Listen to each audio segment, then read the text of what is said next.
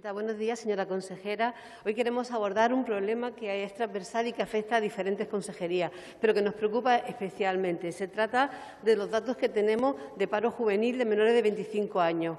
El primer trimestre de 2021, la cifra, la escalofriante cifra de un 67, eh, del 61,37%, cuando la media estatal de esa misma franja de edad está con 37,7%.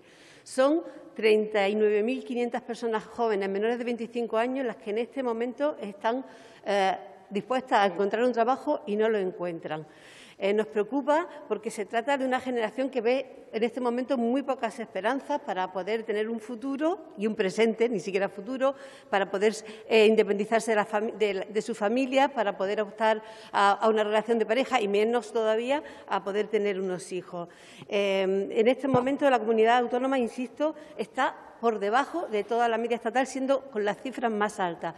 Esta, generación ha sufrido ya dos crisis y nos toca, desde las responsabilidades políticas, desde este Parlamento, desde el Gobierno de Canarias, desde el Gobierno de España, darles soluciones porque no son responsables del momento en el que le ha tocado vivir y porque para eso estamos también en la política. Sin trabajo y sin perspectiva de tenerlo, em, es muy difícil que crean en este sistema y yo creo que nos toca demostrarle que, no estamos dispuestos a condenarle eh, y que vamos a darle soluciones. Estamos, eh, hace unos días nos visitó la ministra del Trabajo, la vicepresidenta tercera, y hay que, nos tenemos que felicitar por ello, y nos dio una muy buena noticia del plan ah, Garantía Juvenil Plus y nos hablaba, y ya se ha aprobado en el Gobierno, de una cantidad increíble, 4.950 millones de euros destinados a esta población al desempleo juvenil.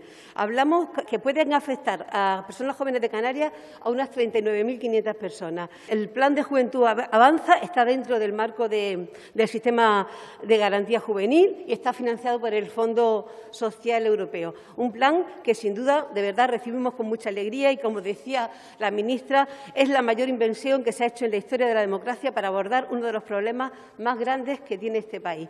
insisto, para esto es para lo que estamos en política, para ante situaciones difíciles dar las mejores soluciones posibles.